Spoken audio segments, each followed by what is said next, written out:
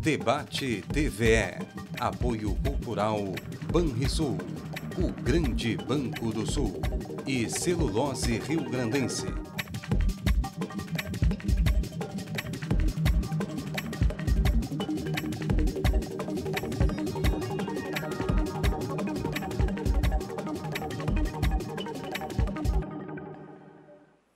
Muito boa noite. As redes sociais tornaram-se um marco nas relações humanas. Das mais simples postagens de fatos do cotidiano no Facebook a manifestações de cunho político, cada vez mais pessoas estão ligadas na internet. E interligadas entre elas. Em muitos momentos, essas manifestações públicas são até agressivas e amizades já foram desfeitas. E para você que está aí nos assistindo, qual a importância das redes sociais na sua vida? Hoje nós contamos aqui no programa com as presenças de duas especialistas nessa área. Uma da área jurídica, a advogada Gabriela Vink, e a outra, professora da Unicinos, doutora em comunicação, Adriana Amaral, com especialização em comunicação digital. Falando em redes sociais, esse programa está sendo transmitido nas redes sociais, no site da TVA e também pelo Facebook. E você pode participar aqui pelo nosso WhatsApp, 984-516352. Boa noite, obrigada pela, por aceitar o nosso convite. Boa noite. Nesta Boa noite. chuvosa, né? Subir o morro hoje aqui foi um exercício. Mas é um prazer, esperamos poder contribuir aqui para o debate. Tá, ok. Obrigada mais uma vez. E como é que vocês avaliam, então, o peso das redes sociais no dia a dia das pessoas? Olha, acho que cada vez mais uh, há essa interligação né, entre o que a gente chama do, do mundo presencial e o mundo digital, né, que não são instâncias separadas. Acho que isso é importante das pessoas entenderem que as coisas têm reflexo, né? O que acontece no, no, digital também acontece na vida presencial. Não vou falar vida real, porque é um termo ruim, é. Então, é um termo ruim porque parece que não é, que o que acontece na internet não é real. E é justamente o oposto disso, do, o que eu estou comentando. Então, acho que é importante a gente refletir, assim, acho que cada vez mais elas vão estar presentes, né, os sites de redes sociais, uh, como formas de relacionamento, ou então outros uh, como Airbnb, Uber, os aplicativos, então, é uma série de coisas aí para a gente pensar. Verdade. E o direito, claro que não pode ficar alheio a tudo isso.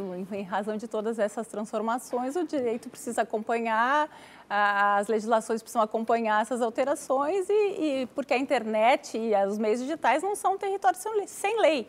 É, as relações que as pessoas estabelecem nesses meios, nesses meios de comunicação, Facebook, Twitter e redes sociais em geral, elas são reguladas pelo direito também. Então, as pessoas não imaginam que elas estejam lá falando no computador, na rede social, que isso não, não, não, vai, não pode ter reflexos no mundo real e na vida prática delas. Então, o direito está acompanhando também essas transformações e é importante a gente poder discutir sobre isso até para informar e evitar eventuais excessos e abusos. Claro. O uso do, do, do, do smartphone, ele se tornou uma, uma presença assim, é uma presença virtual, mas quase que permanente, uhum. né? Aliás, hoje, antes, aqui eu passava pelo saguão aqui da TVE, e na hora do programa Radar, tinham três pessoas entrando para entrar no ar, então uma estava ligada na parede para dar uma carga no celular, o outro olhando, os três assim, esperando e cada um olhando para o seu celular, e isso tem, tem, tem sido cada vez mais. Uh, tu falavas da realidade e, e, e, desse mundo virtual, mas com essa questão do, do smartphone, isso não confundiu mais nessas relações?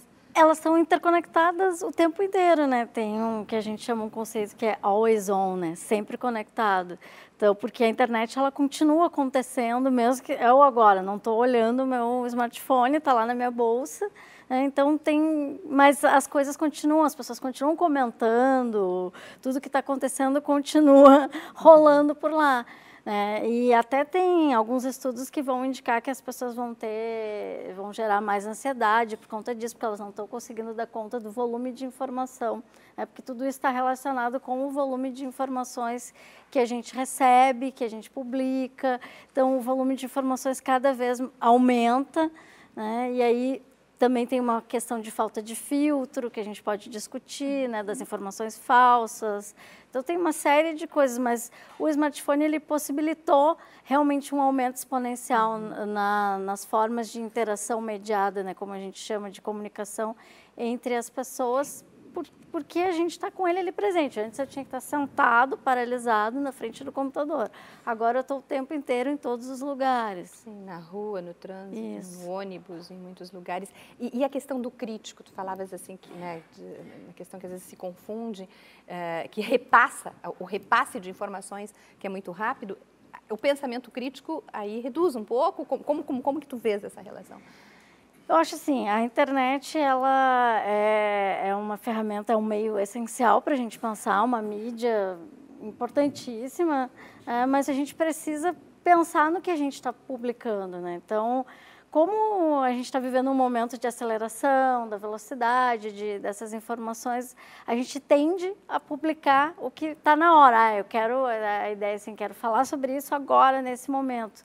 Só que isso tem consequências, que aí a, Gabriela pois pode é. falar hum, melhor sobre isso. O que, que, mudou nas relações pessoais e, e, e, com esse envolvimento, com esse envolvimento uh, de cunho mais jurídico até, uh, com o advento da, é, com, da internet? Com o advento da internet, uh, as relações todas tornaram-se tornaram mais rápidas e estão modificando. Por exemplo, o uso do smartphone que vocês estavam comentando diariamente, ele possibilita hoje em dia fazer uh, transações comerciais ali direto pelo, pelo pelos aplicativos, pela rede social, tem, tem uh, ofertas na rede social, tem, tem propagandas na rede social e claro que isso tudo tem um viés, tem um viés jurídico que precisa ser, precisa ser resguardado também. Então, além, além das relações entre as pessoas, na rede social que são reguladas pelo direito, porque não pode haver uma difamação, uma calúnia, não pode haver um, uma ofensa, um, um, excesso, tem esse lado também de, do consumidor também. O consumidor também está ali trabalhando com aquelas empresas na rede social,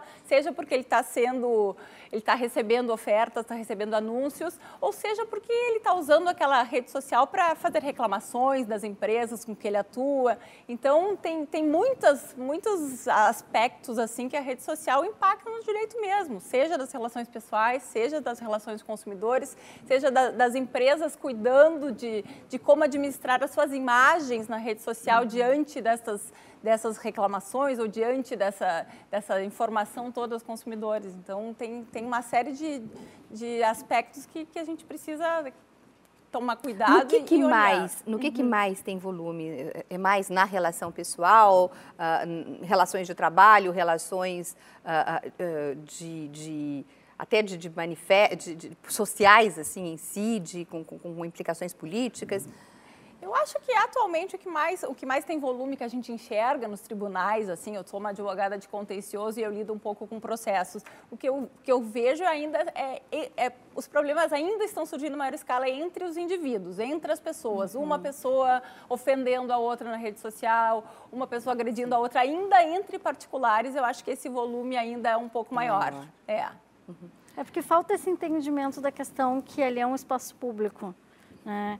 Então, que eu não estou ali restrita na minha casa, né, falando entre, entre entre quatro paredes. É, aquilo ali é a mesma coisa que eu colocasse os meus dados, as minhas informações, eu xingasse pessoas e colocasse um cartaz, um cartaz na rua, né, no poste. Então as pessoas às vezes não têm essa dimensão e que aquilo ali tudo é rastreável, que o meu IP vai estar ali, que tudo pode ser localizado. Então essa ideia da privacidade é uma ideia que não existe. É, eu tenho um pouco mais, um pouco menos de privacidade em determinados canais, mas a partir do momento que está na rede, é, não há mais privacidade.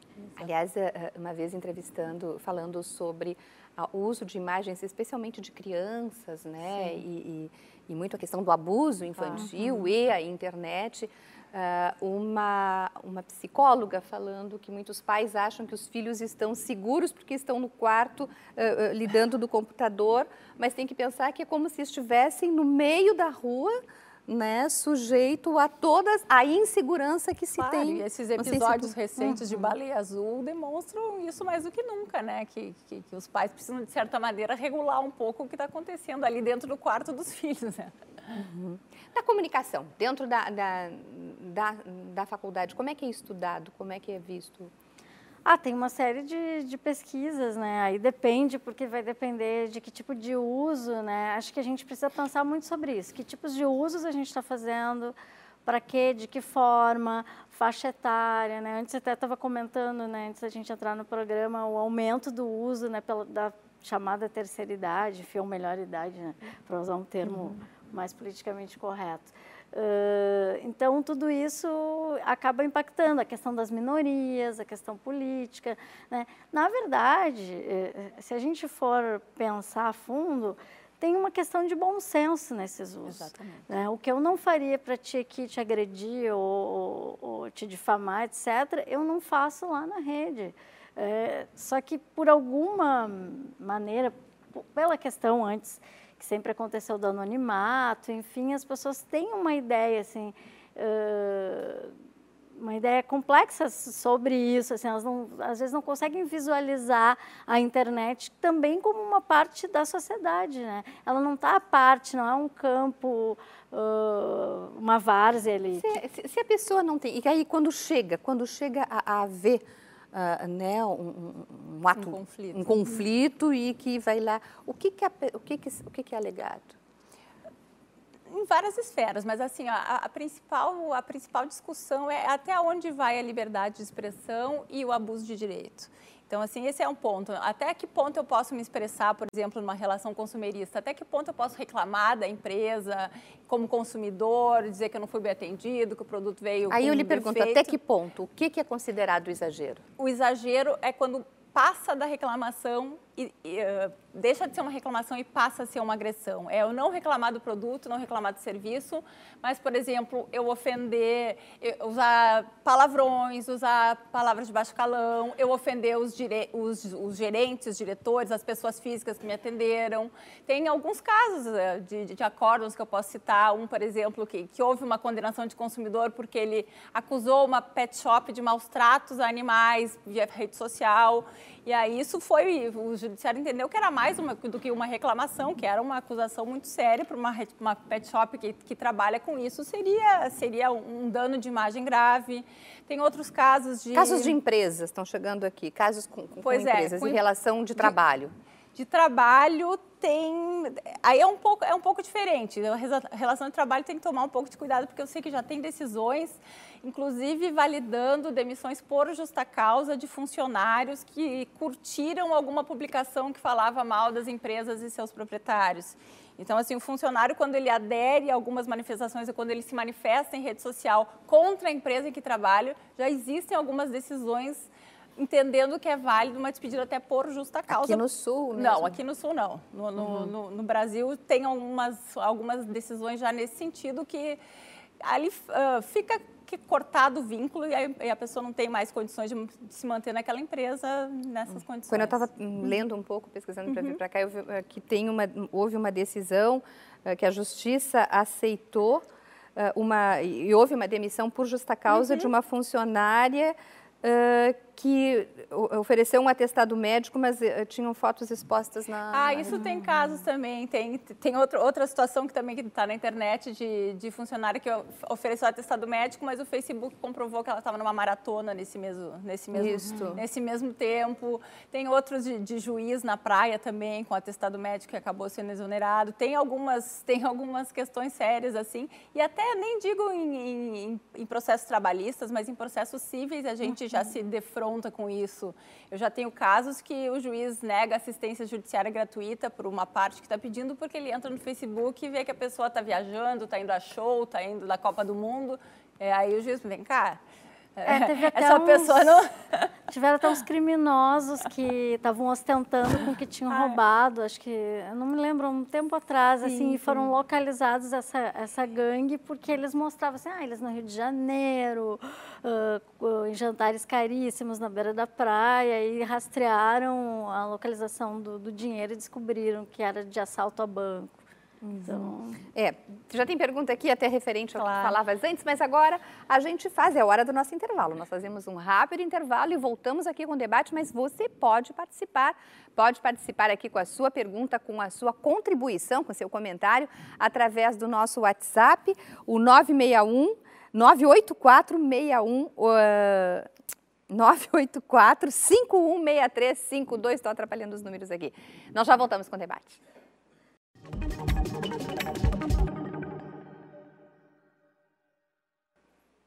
As redes sociais nas relações humanas estão no foco do nosso debate de hoje. Estamos recebendo a advogada Gabriela Vink e a professora da Unicinos, que é a doutora em comunicação, Adriana Amaral. E você participa através do WhatsApp 984-516352. É, antes de passar para a pergunta, que daí a gente volta para a questão jurídica, eu só queria ouvir da, da doutora Adriana sobre a questão uh, das mudanças, até na linguagem, do uso de signos que se faz, né? muitas vezes até, até na agressão, porque eles não são tão, os, os emojis, os emoticons, esses, às vezes não são tão, uh, tão, tão queridinhos assim, digamos, né? Só isso. Toda essa utilização, o que, que mudou na comunicação? Acho que a internet ela tem uma linguagem própria, né, uh, rápida e que acho que os outros meios eles acabam tentando, tendo que correr atrás disso. Né? Então, por exemplo, a gente tem o caso aí dos memes, dos GIFs, ah, que GIFs, são formatos importantes para a comunicação, né, de, de entendimento, porque às vezes eles nos localizam determinada sensação, determinado sentimento. Né? Então, hum. ela, ela vai construindo um, uma nova simbologia que acaba até passando para os meios mais tradicionais, como a televisão, o rádio, o impresso.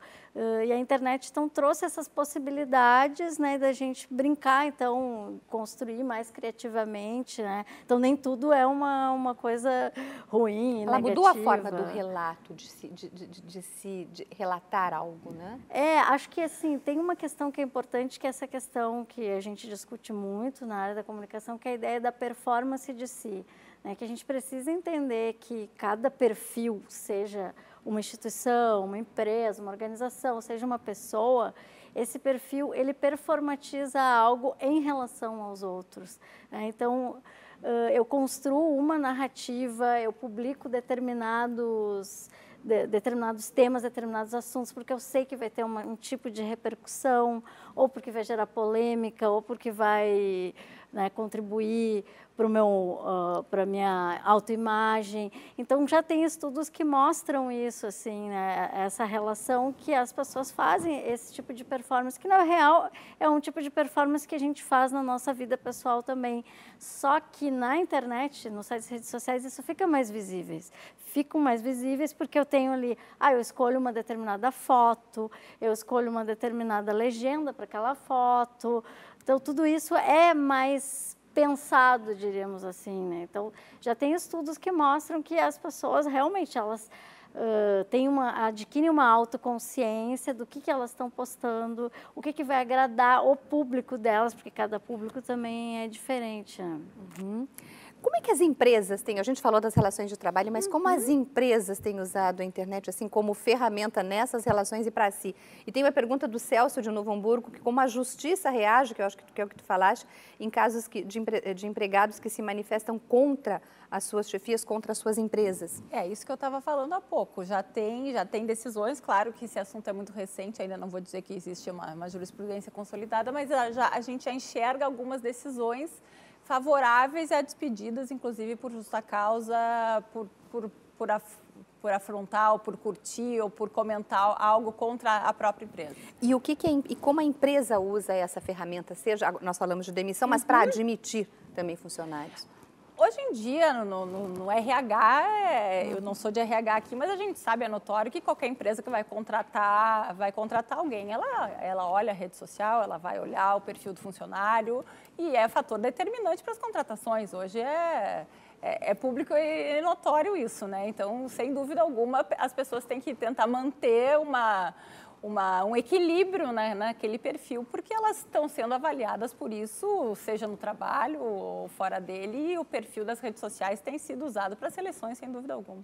E a empresa, ela tem um foco, o cuidado da marca, Uh, tu falavas da PET, mas de uma empresa maior, de, um, de, uma grande rede de supermercados, aconteceu recentemente, eu acho que, eu acho que foi com o grupo, com, com, com o grupo Walmart aqui no, no, aqui no Sul, né, onde as pessoas colocavam uh, colocaram uh, produtos já vencidos, uhum. uh, né? E, e, e, outras e outros também, não, não só esse grupo, mas também Sim. outros. Como é que faz esse cuidado juridicamente as, depois em, em termos de Claro, as empresas hoje elas estão controlando as redes sociais, elas têm eh, núcleos próprios treinados para isso, de gente que faz monitoramento, até se contratam assessorias para fazer esse monitoramento e controle das redes sociais. E ela precisa, para manter a sua imagem, ela precisa agir rápido ela, e, e, ao mesmo tempo com cautela, porque ela não pode deixar de responder aquelas reclamações ou aqueles comentários. Ela, é bom que ela se manifeste, mas tem ter muito cuidado nessa manifestação para não piorar a questão da imagem ainda. Então, a gente, o que a gente recomenda é que as pessoas que fazem essa resposta têm que ser pessoas muito bem treinadas e muito bem alinhadas com o espírito, com a cultura da empresa. Então, assim, a, a orientação é responda, mas responda com cautela, com educação e com e com pessoas realmente alinhadas e, dispostas a resolver o problema, de preferência levando o assunto para o offline, né? Sem uhum. ficar uma bateção de boca ali na rede social. E a empresa, a, a, e quanto ao funcionário voltando assim, ela pode fazer esse monitoramento? Quer dizer, ela vai fazer, mas ela, não, ela pode admitir isso? Mas eu não, aí eu estou falando não dos funcionários em sim. si, né? Eu estou falando de, do, do, monitoramento sim, da sua não, imagem. Não, do monitoramento né? da imagem sim, Exatamente. mas voltando ali do, dos funcionários... Dos funcionários é público, né? Tá. É público. E voltando assim, a imagem, na comunicação, o que, que é recomendado? Como é que uma empresa deve cuidar da sua imagem de comunicação nas redes sociais? Bom, primeiro que depende do tipo de cultura de empresa. Obviamente que um supermercado vai ter uma linguagem, uma imagem diferente de um cabeleireiro, diferente, sei lá, de um, de um banco. Enfim, isso vai, vai de acordo com cada, com cada caso, com cada nicho específico, né? Uh, o que a gente entende é isso, que o que está ali é público, que tem que ter cuidado, que as pessoas precisam ser treinadas em relação a isso, precisa ter uma equipe que cuide disso, não é chamar o sobrinho ali para ficar respondendo, né? não responder com cabeça quente, né? acho que isso é bem importante, assim, de pensar como ela falou antes, tem que estar alinhada com a cultura da empresa. Né? E tem alguns casos assim que que transcendem. Né? Agora, por exemplo, eu estou orientando um trabalho de conclusão sobre aquele. É um cemitério que tem no Nordeste que faz muito sucesso, que é o SEMI. E é, teoricamente é uma empresa assim que não teria o que, que vai vender, né? Um cemitério de João Pessoa, se não me engano. E é um sucesso imenso, tem milhões de curtidas, tem seguidores, tem um grupo de fãs. Mas por quê? Porque eles fazem um trabalho todo com memes, todo com uma linguagem jovem. Então, né, tem entrevistas do pessoal que faz a comunicação deles dizendo que eles não focam na venda. A venda, obviamente, seria uma questão de, agressiva, mas eles focam assim na relação que as pessoas têm com essa ideia da morte, por exemplo. Né? Então eles mas brincam é o cemitério ou a funerária? Não, o cemitério, não, o cemitério mesmo. É. Para escolha. É, então é bem interessante. Então tem casos assim que poderia sair uma, uma questão problemática, né? Aquilo faz do limão uma limonada. Então eles usam de uma forma que acaba gerando um monte de likes. Aí eles discutem questões de, de né, através desses memes, ah, de relação com a morte, fazem piada, enfim, fazem um, uma coisa de uma forma mais light. E isso acabou gerando. Então assim então também tem que pensar, não, não adianta assim, a gente não tem uma receita de bolo pronto. Uhum. Cada empresa, cada organização vai ter que pensar de que forma ela quer fazer. Ela vai ser mais arrojada, ela vai ser mais tradicional, aí depende, né? Às vezes pode ter pegar um caminho não, mais uh... menos convencional. É, e pode pode fazer, pode usar contra si, né? Pode, pode usar contra. Então assim, é muito relativo, por isso que é difícil, porque é, é imprevisível, né? Então, a cada momento vai mudando. Também tem que ter cuidados, por exemplo, com essas questões relativas né, a minorias, uh, visibilidade, etc. Acho que isso está é, tá cada vez mais em pauta, porque é uma questão, não é uma questão da internet, é uma questão da sociedade. Está é, tá se discutindo isso, a gente precisa pensar sobre isso, então, de como uh, essas questões vão ser tratadas. Então é muito importante assim pensar nisso, assim, por exemplo, a escola, por exemplo, teve que fazer todo um reposicionamento por conta de uma campanha no carnaval, né, que, que acabou afetando e gerou, viralizou, e as meninas escreveram que era, uma, era assim, deixe o não em casa, ah, na, na, época do carnaval. Então, isso aí gerou um buzz negativo é para a escola, então eles se reposicionaram, enfim. E aí para administrar isso tem que aí tem que rever todo o posicionamento deles, né? Então, por exemplo, agora chamaram ilustradoras mulheres para fazer campanhas não de cerveja não agressivas. Sim. Então, é, eu acho que isso cada vez é mais importante, porque há um uso importante também da gente demarcar determinados posicionamentos que são posicionamentos políticos e que a gente não pode mais aceitar na sociedade que a gente vive.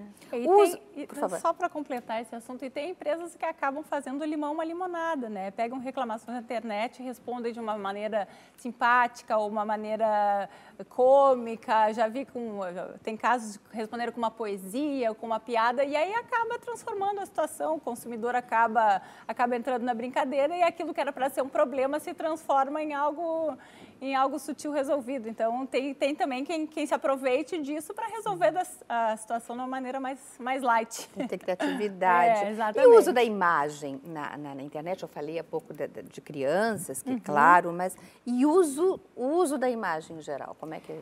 Tem, tem tomar... muitas reclamações. Tem, tem... tem, e tem que tomar cuidado também, né? Porque só porque é internet, porque está todo mundo se expondo na internet, na rede social, não quer dizer que eu possa pegar uma imagem de uma pessoa famosa ou, ou de outra pessoa e usar em meu benefício uh, sem autorização. Isso gera dano também. Sim, mas já houve casos não só no Facebook, mas no WhatsApp, né? Que, que claro. é, de um namorado pegar a, a, alguma foto mais íntima, um, um, não, isso... nude da namorada e colocar em grupos do WhatsApp. Não, isso, isso sem dúvida, uhum. não tem dúvida alguma. É, é, isso, inclusive, denúncias no Facebook, eles precisam remover essa, uhum. essa, essas inscrições sem autorização judicial. Isso é, isso, isso é gravíssimo, é, não é permitido mesmo sem autorização. O que eu digo também é em relação a as próprias empresas, né? De cuidar, daqui a pouco querer utilizar ah, uma, um influenciador digital fez uma propaganda, comentou a minha marca, falou bem da minha marca e agora eu quero me utilizar daqui, daquilo e usar a imagem dela sem uma autorização. Isso é, isso é uma violação da imagem também, porque ainda que ela tenha comentado sobre a minha marca ou falado bem da minha marca, se ela não me autorizou, eu não posso pegar esse post dela e fazer uma propaganda para mim mesma sem autorização. Isso é um uso indevido da marca também. E da há imagem também. casos? A... Tem casos, sim. Tem alguns. Uhum. De se conhecer. A, a, questão, a gente fala, um período assim de democracia, onde as pessoas expõem seus pensamentos e, e, e, e também a, a, internet pode ser usada como uma ferramenta de aproximação eh, de, pensa, de, de grupos que pensam em comum. Eu queria que tu falasses um pouquinho a respeito disso, especialmente uh, na questão política, uhum. né? Ou então, ou então num, numa, usar uma ferramenta uh, de, de grupos que, que desejam, que têm uma luta em comum e que querem tornar isso mais visível. É, então, tem, uh, tem o que a gente chama né, das mobilizações, né, de, de, via internet, tem uma série de questões aí para a gente passar sobre isso, né? Uhum. Então, no âmbito, diríamos assim, a gente também tem que pensar que a ferramenta, tá, um lado da ferramenta são as pessoas, é o tipo de informação que a gente dá né, para essas redes sociais, porque o conteúdo é feito por nós. Por outro lado, existem os algoritmos. Tá? Os algoritmos, eles têm uma programação e essa programação não necessariamente é o que a gente gostaria. Então, aí acontece o que alguns autores estão chamando do filtro bolha. O que, que seria o filtro bolha? Ah, então eu começo a excluir todas as pessoas que pensam diferente de mim uhum. e eu vou ter só um grupo que entende o mundo, tem uma visão de mundo exatamente como a minha. Então, assim, se eu só gosto de gatos, só gosto de um determinado partido e fiz determinadas postagens, eu vou ter um só grupo que fica fechado naquilo. Então, também isso não é bom, porque eu perco a diversidade, que era a ideia inicial da internet, né? internet livre, nos anos 90, quando foi pensado, foi pensado para se ter uma diversidade de opiniões, o diálogo, etc. Então, como, como isso acaba acontecendo, né? eu vou fechando cada vez mais. É, por outro lado, também a gente viu aí né, nos últimos nos a polaridade, últimos, né? Que muita gente olha, eu né? vou deletar tanto dos meus, vou excluir alguns amigos que não são amigos ou que não pensam Sim. como. Isso ocorre e aí nisso que tu falas assim, quando tem que, da questão do algoritmo que só vai aparecendo as coisas semelhantes para ti, essa polarização vai, vai cedendo. Isso, e aí também eu fico com uma visão de mundo, assim, eu sempre brinco com os meus alunos, eu digo, ah, o mundo não é a timeline de vocês, o que vocês estão enxergando foi determinado pelo que vocês estão postando, não necessariamente corresponde à realidade do que está acontecendo, né? Porque aí tem, ah, como que o Trump ganhou? Como que é que ficam aquelas, aqueles questionamentos, ah, mas olha só como que acontece determinadas coisas, né? Foi a grande pergunta, né, da, da, da eleição americana, por exemplo. Ah, não via ninguém falando que, que vota... Bom, claro, eu eliminei as pessoas, né? E também tem o efeito contrário, né? Às vezes eu odeio tanto uma coisa, a gente fala muito, né, nos haters, nas pesquisas e tal, eu odeio aquela coisa, eu fico o tempo inteiro falando que eu odeio aquela coisa, eu estou dando visibilidade para aquilo. Exato. Então, eu tenho que pensar que até quando eu estou criticando e falando mal, eu estou dando visibilidade. E quem curte também, também vai acrescentar também isso. Também vai acrescentar visibilidade. A pessoa que fez a maldade com o cachorrinho, aquela imagem que bota e as pessoas vão curtindo, olha como ele fez a maldade com o cachorrinho, aquilo vai se dissipando e vai, e vai, e vai multiplicando. Estão alimentando. E aí pode gerar até, se, eu não, se é uma informação incorreta, pode gerar um linchamento virtual, como a gente tem visto aí. Ah, pessoas que, a mulher lá que disseram que tinha matado uma é. criança e não tinha. Então tem que ter muito cuidado com esse, com esse tipo de reação explosiva, né? Então, inclusive dessa, dessas manifestações também. E às vezes a pessoa quer fazer o bem, né? quer divulgar uma coisa que é um crime, etc. E ela está incorrendo ali em dar visibilidade a, a coisas ruins ou incorretas. Sim, e na medida em que, ainda que a postagem não seja dela, mas que ela comenta algo equivocado, ou ela, no comentário ela faz alguma ofensa, ela está sujeita aos reflexos legais disso também. Se ela curtiu algo equivocado ou comentou algo inapropriado, Compartilhou. Ela, ela pode, exatamente, compartilhar também. Quanto mais se alastra, quanto maior, é maior o dano, né? Quanto mais visibilidade tem, maior o dano. Então, essa pessoa também está sujeita... Quem curte é conivente, como é que é? Claro, quem Sim. curte é conivente. Mas aí está junto com... O que, é... o, que, que implica isso? Pode implicar numa responsabilização, sim. Se for uh, uma, Se curte um post de uma, de uma mensagem... Uh, racista... Sim. Pode, está conivente também, se for sofrer uma, uma, uma, uma ação, calúnia, uma, uma ação indenizatória, ela está sujeita ali também, porque curtiu, porque referendou aquele post. E isso tem, tem casos? Tem, tem discussões, eu não vi casos uhum. concretos, mas já tem muita discussão sobre isso. Porque é a responsabilidade civil comum do Código Civil, a pessoa está tá no... Até porque aparece, né, uhum. esses dias, ah, aconteceu de, de pessoas que, que curtiram posts uh, de pessoas, uh, de, de, outros que falaram, por exemplo, bem do, do Bolsonaro, vou dizer agora uhum, o nome. Uhum. E aí o que, que acontece? Outras pessoas dizem, olha só, quais dos seus amigos que fizeram isso? E aí já aparecia, uhum, tem como sim. verificar. Uhum. Claro.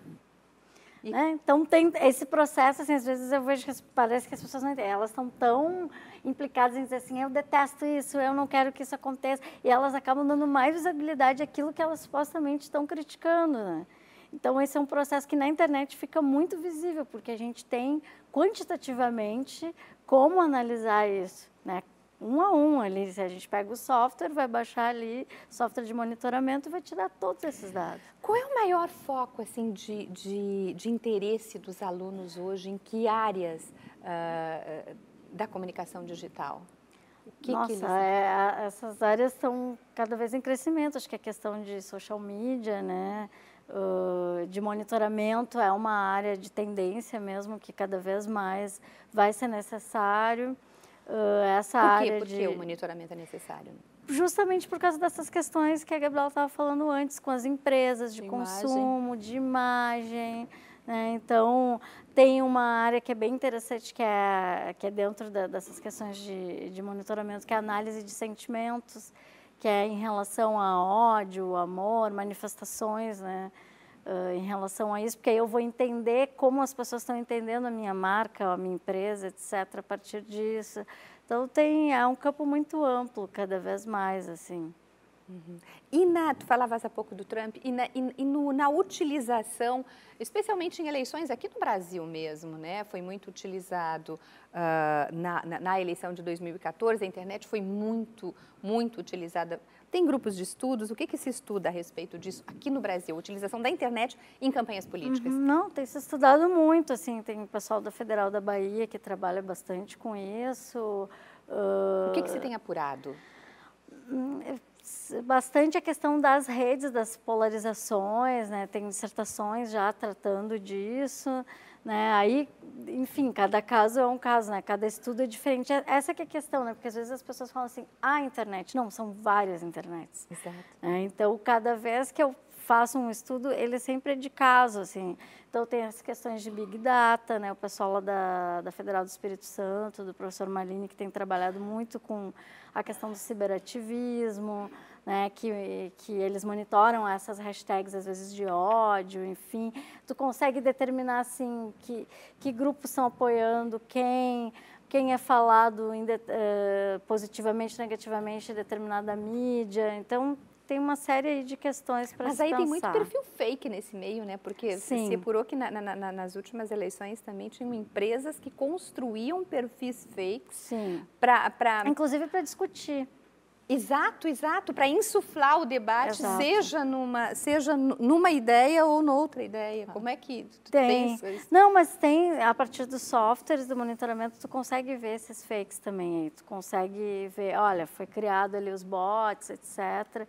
Então é bem, bem interessante, assim, consegue ver, visualizar né, o grafo da rede, como a gente chama. Né? Então, da onde surgiu, aonde tem uma, uma, uma, manifestação mais forte sobre A ou sobre B. Então, tudo isso consegue ser. Também a questão né, da, que eles chamam de e-government, né, governança eletrônica, né, as deliberações, né, como os governos estão se utilizando disso para lidar com a população. Então, tem uma série de pesquisas é, que vão falar sobre isso. Meninas, mais um intervalo.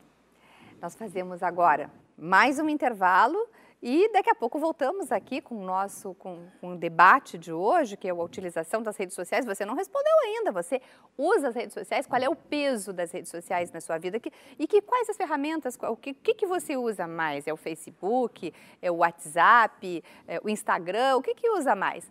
Pode participar aqui com a gente através do nosso WhatsApp, que é um meio de uma ferramenta bem importante na nossa comunicação. É um intervalo e a gente já volta.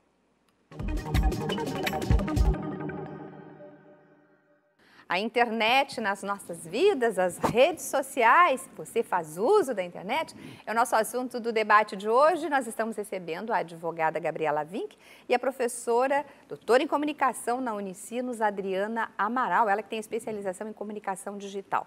Esse programa está sendo transmitido ao vivo no site da TVE e também no Facebook. Você pode participar pelo nosso WhatsApp 984 516352. Vou, vou, começar com uma, com uma pergunta aqui que chegou pelo WhatsApp, da Mariana. Ela é professora na Zona Sul de Porto Alegre. Se um funcionário fizer um meme da empresa e ele for mal interpretado, ele pode ser punido? Como se estabelecem essas regras? Olha, a gente tem que entender um pouquinho o que significa o meme, né? Só um meme, em tese, pode ser algo grave ou não. Então, eu tenho que entender um pouquinho melhor o, o, o significado do meme, mas sim, eventualmente, se for algo grave, ele pode sofrer uma advertência. Uh, o que, que, seria um meme grave, por exemplo? Que, que falasse mal da pessoa, cometesse o quê? Uma, um deixasse a, a ou a empresa falasse, em maus a empresa. Ele falou da empresa, é. Eu vou, eu vou usar uma decisão que eu já vi por aí, que é que é funcionário falar mal da empresa, até de pet shop, eu vou te dizer que tem um outro trabalhista também falando de pet shop, dizendo ah, é? que é de maltratos de animais e dizendo que a empresa não cuida dos animais. O funcionário referendando isso é, é grave, é grave. E sim, pode ser punido por isso, porque está difamando a própria empresa em que trabalha. Essa, essa é uma decisão Sim, não tem. é um consumidor aí no caso. Aí é, é o próprio funcionário. E tem outros casos também que, que eu já vi, comentários de, de ex-funcionário que começa a, a, criar na internet um grupo, ah, se você também foi escravo da empresa, e aí funcionários que estão na empresa começam a curtir, comentar, também são uhum. coisas graves, que podem ser objeto de punição, sim, porque se ele está com, com, uh, concordando com aquele, com aquele post, sim, somos escravos, eu continuo aqui, mas somos escravos, é algo também, é grave. Uhum. Mas a questão ideológica não se entra, né? Ele pode, desde que, claro, não, não não, não vá agredir o, o, o, o, colega ou a chefia, coisa e tal. Exa exatamente. No momento que ele agride a chefia e agride o colega, uhum. ele está se colocando numa posição mais difícil. Mas claro que a mera ideologia não. não Sim. Não, não, ou a religiosidade. Eu vi um caso aqui de uma. Não, mas é que tem um caso Sim. aqui que eu estudei que uma moça que num post uh, ela comentou. Foi um caso de uma moça que comentou num post de uma amiga sobre intolerância. A amiga estava falando, fazendo um. Uh, uh, um debate sobre intolerância religiosa. Uhum. Né? Mas indo contra, é claro, intolerância Sim, religiosa. Claro. E ela curtiu e disse: ah, o único caminho é Jesus. Mas isso aconteceu na Bahia. E a chefe era um bandista, não gostou do comentário e deu uma bronca na funcionária. É, mas aí é um pouco é um pouco é Aí é um exagero aí, do aí outro é um lado. Exagero, exatamente. Aí Isso não tem razão. Porque, a, porque a ideologia da pessoa não pode ser objeto de punição, imagina, de forma alguma. Uhum. Aí é um exagero. Qual a ferramenta que é mais eficaz hoje na comunicação? É o Facebook, é o, o WhatsApp, o Twitter? O... Depende, cada um tem a cada sua um tem, é, finalidade. É, é, cada um tem finalidade. Então, assim, por exemplo, para a conversação do que a gente chama de TV social, o Twitter ganha disparado. Se vocês pararem, sei lá, tem um programa lá, Masterchef, etc., as pessoas estão o tempo inteiro comentando. Então, o que a gente chama isso, né, da TV Sim. social, vai, vai se dar lá. Então, o Instagram, ele está muito associado também com a questão de, de venda, de moda, uhum. de consumo, né, da, da pessoal fitness. Então, tem, tem nichos, assim. Então, o Facebook, ele é mais genérico, diríamos assim. Né? Então, e o WhatsApp tem mais essa, essa característica da, da rede, dos grupos, da, o grupo da família, o grupo, sei lá, do, do trabalho. Então, cada um acaba assumindo uma função assim, diferente. Né? E como ferramenta da comunicação social em si seria mais o Facebook? Não. É de novo, como eu nisso? falei, depende, cada um é diferente. Né? E o que a gente discute muito assim, é que essa hegemonia né, de uma determinada rede ela não é positiva. É, o ideal é que cada vez. E o que acontece é que, no, no fim, a gente está preso, porque o Instagram é do Facebook, uhum. o WhatsApp é do Facebook, né? o Snapchat ele não, não foi comprado, mas agora tem o Stories uhum. do, do Facebook no, no WhatsApp, etc. Então, acaba gerando monopólio novamente. Né? Então, a gente tem que também se dar conta que os nossos dados estão numa meia dúzia de empresas e que essas, essas empresas elas controlam. É, então, tem toda uma questão que a gente pode pensar sobre essa perspectiva da vigilância. Então, é, é, é, é bastante complexo. Assim, então, a gente tem que se dar conta. É óbvio que a gente não consegue fugir né, dessas, dessas ferramentas, enfim, e, e, e, dessa, de estar interligado né, em rede. Né? A partir do momento que eu tenho uma conta num banco, uh, pronto, né? mesmo que eu não tenha Facebook, etc., eu já estou dentro do sistema. Então, é um pouquinho por aí. Isso não é nenhuma paranoia. Realmente esses dados são. Não, às vezes assustam, né? São tu faz uma pesquisa, usados. vai lá, faz uma pesquisa sobre determinado assunto, sobre flores da, na, na Amazônia e aí daqui a, a pouco tem floriculturas aparecendo na timeline. É, por causa do algoritmo, como é. eu estava falando antes. Então, isso acaba ficando programado, né? Então, tem, tem algumas formas de burlar isso, né? Utilizando... Uh, tem alguns outros navegadores que não, por exemplo, o Google, né, que aí tu consegue utilizar, ou tu consegue deixar no invisível. Mas não são todas as pessoas que vão pensar sobre isso. A né? maioria não vai. A maioria eu, não, eu, eu mesma não, não, não pensa. A própria questão assim de quando eu entro num site de rede social, eu tenho ali um, as regras, né? A maioria das pessoas não lê, é. né? que eu estou cedendo meus direitos. É isso que eu ia comentar. Eles. As empresas fazem essa comunicação porque, nas condições gerais lá, as pessoas autorizam que elas façam essa interlocução, essa, esse compartilhamento de informações. Isso, isso é uma, uma regra autorizada. Uhum. Para aí que tem ah tem uma pergunta da Giane, ai meu Deus, funcionária pública de Porto Alegre. Pergunta para a advogada: somente se a empresa pode Pergunta para a advogada. Somente a empresa pode se ofender com os comentários ou vice-versa? Tá boa pergunta. A empresa, através de um assessor ou coisa que o vale, uh, pode ofender um comentário de um funcionário e ele pode entrar por assédio moral contra pode, o assessor da empresa? Claro ou sim, sim Sem eu tu falasse alguma, que... é, sem dúvida. Qualquer um que ofende está sujeito ao regramento. Se a, se a própria empresa ofende o funcionário, sim, é mais grave ainda. E que tipo de ofensas que podem ser aí? O que, que é considerado um assédio? É um xingamento? É um, é... Somente um xingamento ao, ao post que ele fez ou é alguma coisa que possa denegrir sua imagem? O que, que os pode dois, ser? Os dois. Qualquer... Uh, ou falar mais, uh, mais duro, mais impositivo ou, ou fazer uma, um comentário que denigre a imagem. Ou... Isso tudo que é feito no público. Né? Eu acho que eu não mas, sei. Mas é que no privado também, ah. nessa relação de trabalho também. Porque ali fica registrado, se, se, ele se eu receber uma mensagem no meu WhatsApp que não é público, de, do meu empregador, do meu chefe me, me ofendendo ou me falando alguma coisa inadequada, isso vai ser uma série claro. igual. Não precisa ser no público, necessariamente. É, uhum. tem o que a gente chama de se, é semi-público, né? Uhum. que seriam esses casos, porque na verdade é...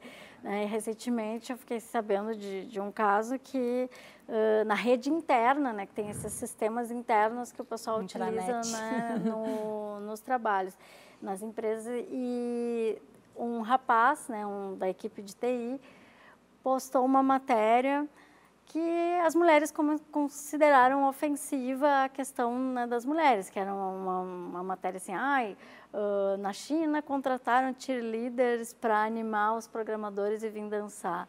E aí o rapaz colocou, olha, ah, eu gostaria que a nossa empresa fizesse ah. isso. E aí tá. Levou pau das mulheres. Começou a levar pau, levar pau, e aí o gestor foi lá na hora, travou o cara. Eu sei que já não era a primeira vez que isso acontecia e ele acabou sendo demitido um tempo depois.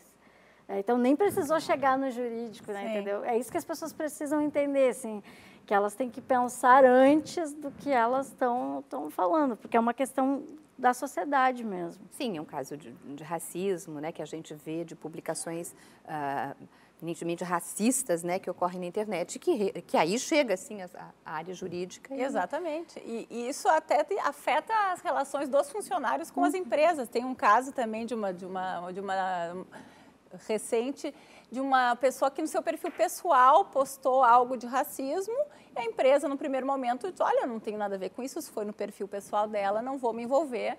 Só que aí ela começou a ser instigada por pessoas na rede, dizendo, escuta aqui, fulano, porque quando tu abre um perfil no Facebook, dá para ver onde a empresa trabalha.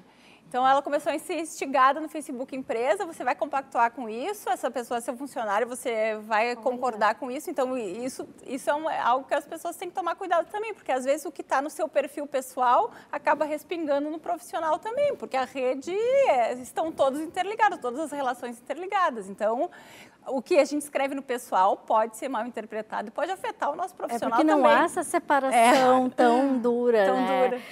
Aqui eu estou representando a Unicisa, então se eu falar alguma coisa lá amanhã, já o pessoal do monitoramento Sim. já me diz.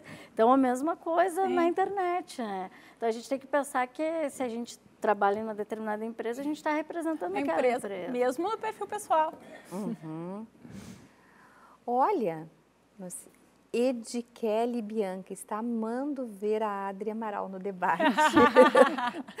Boa noite, estou lendo o livro internet, arroba internet e hashtag rua, que a Adriana participa e que fala sobre o cyberativismo, como os grandes conglomerados estão lidando com essa corrente. Abraços do Roberto Vedói. Vedói? Piduí? Não, sei. Essa, Essa, esse, esse, esse, esse, livro tu participas? Não, o livro do professor Fábio Malini, esse que uhum. eu citei antes, que vai... Eles analisaram ah, é? as manifestações de junho e de 2013, desculpa, uhum. né, em que uhum. eles ah, fazem essa análise das hashtags, né, de como é que se mobilizam os ativistas, né. Eu tenho trabalhado muito numa perspectiva, eu trabalho mais com as, com as questões relacionadas a entretenimento e juventude. Uh, mas a gente vê que há similaridades na forma, a forma como as pessoas se mobilizam, independente se é política, se é entretenimento, elas são muito parecidas na internet. Então, isso acaba, acaba tendo o mesmo tipo de polarização, de discussão, a forma como é levantada as hashtags, como os grupos entendem um tipo de uso. Então, acaba tendo essas, essas Aliás, foi o marco, as manifestações de junho que vieram adiante de, de, eh, de manifestos que ocorreram na Espanha antes e que eram todos chamados pela internet e os grupos se reuniram. Né? Aqui mesmo foi usada uma plataforma, ah, não o um manifesto, mas o, o Serenata na Redenção, não estou lembrando, não é bem esse o nome, mas uh, que o chamamento é feito pela internet. Né? Como, como, é que essa ferramenta, se tu pudesse falar um pouco não, de, é verdade... não só de manifesto, mas também de eventos que Sim. são chamados pela internet. Sim, na verdade são essas que a gente está chamando de mobilizações. Serenata né? Iluminada, lembrei agora. essas mobilizações até de ocupação do espaço público, né? Porque o entendimento agora nesse, nesses últimos anos é que a internet ela precisa ser usada para que as pessoas também vão para a rua, né? Então que elas tenham lá sai, sai da internet e vai para a rua. É porque antes se tinha uma ideia assim, ah, as pessoas vão ficar isoladas em casa, etc. Não, e agora esses movimentos todos, sejam de cunho político, de cunho artístico, etc., vão lidar com, com essa ideia dessa, dessa mobilização. Aí elas fazem lá um grupo no WhatsApp, um grupo no Facebook, a ferramenta em si, qual ferramenta que é, cada um vai, vai deliberar. É, mas o fato de se chamar as pessoas para irem para a rua que é acaba sendo essa essa tônica né, desse tipo de movimento e é um movimento efêmero diríamos assim ele é para durar só aquele período e depois ele se encerra mas né? que é positivo na medida em que tira sim. as pessoas do virtual e coloca no cara a cara sim né? sim sem dúvida isso olha só a, a, eu queria que Adriana só mais um pouquinho uh, contigo com relação à censura, o brasileiro lida muito mal com isso, acho que até em função de, uh, da, nossa, da ditadura, né, dos anos 70 e tudo. Então, tudo é muito considerado censura. Como é que tu analisas essas, pessoas que se sentem censuradas porque acham que, que, que estão tolhidas na sua liberdade de expressão uh, na internet? É que, de novo, a, a, as coisas. Eu, eu sempre me pauto por essa questão do bom senso. Assim, tem uma questão que é de limite, e o limite é esse que a Gabriela estava falando antes, né? Se eu vou ofender uma pessoa, se eu, uma pessoa, uma instituição, Sim. etc., eu passei do limite da liberdade. Se eu vou fazer um discurso de ódio, né? é diferente eu me posicionar em relação a uma, a uma determinada coisa do que eu fazer um discurso de ódio. Né? Se eu fizer um discurso racista, estou fazendo um discurso de ódio. É totalmente diferente de dizer assim, ah, eu não gostei do filme tal. Isso é uma opinião, uhum. não gostar do filme tal. Agora? Então, esse limite é que às vezes as pessoas não conseguem entender, né? Que há, agora, claro, há coisas a serem pensadas e serem problematizadas em cima disso. Meninas, para encerrar, a gente está encerrando, assim. Eu volto à pergunta do início, mas, assim, pessoalmente, qual é o peso que a internet tem, por exemplo, uh, na vida da Gabriela, na vida da Adriana? É grande. É. A gente se comunica pela internet o dia inteiro, seja respondendo e-mail de cliente, seja em rede social. Quando sai seja... daqui já vai olhar o celular para ver se na, na, vida familiar, tudo se resolve por, por, por, por WhatsApp, por comunicação rápida, a gente se comunica com a, com a empregada por, esse, por esse meio. Então, assim, é, sou completamente dependente da, da internet das comunicações, tanto para trabalho como para minha vida pessoal, para o lazer, é, é difícil a gente viver sem. o teu ainda é profissional, né? Também, não, mas o pessoal também, é, porque acaba tudo se confundindo, claro. não tem hoje, como. hoje em dia o cliente te procura pelo WhatsApp, ele não vai só no teu e-mail corporativo, ele já está ali o dia inteiro no teu WhatsApp querendo a resposta no mesmo minuto. Tu está numa reunião e respondendo para outra, ah, eu preciso só saber se contrato essa cláusula. Hoje em dia, sim. É, eu nem estaria aqui se não tivesse internet, a minha carreira toda é, foi em cima disso, né? Exato. Aliás, um beijo para a Kelly que foi minha aluna, que tá mandou a mensagem. E, sim, e a gente não fez o contato contigo pelo, pelo WhatsApp, porque muitos convidados aqui também a gente já faz, pelo, já marca pelo WhatsApp, pode vir tal dia, olha, tem assim, já acontece isso. Muito obrigada pela vinda de vocês Imagina, aqui mais um uma vez. Vamos encerrando o debate de hoje. Nós agradecemos, como sempre, a sua participação, a sua audiência. Eu tiro, entro uns dias aí de férias e o Marcelo Berger estará aqui a partir da próxima semana, levando aí o debate TVE com toda a força. Uma boa noite, um bom fim de semana para você.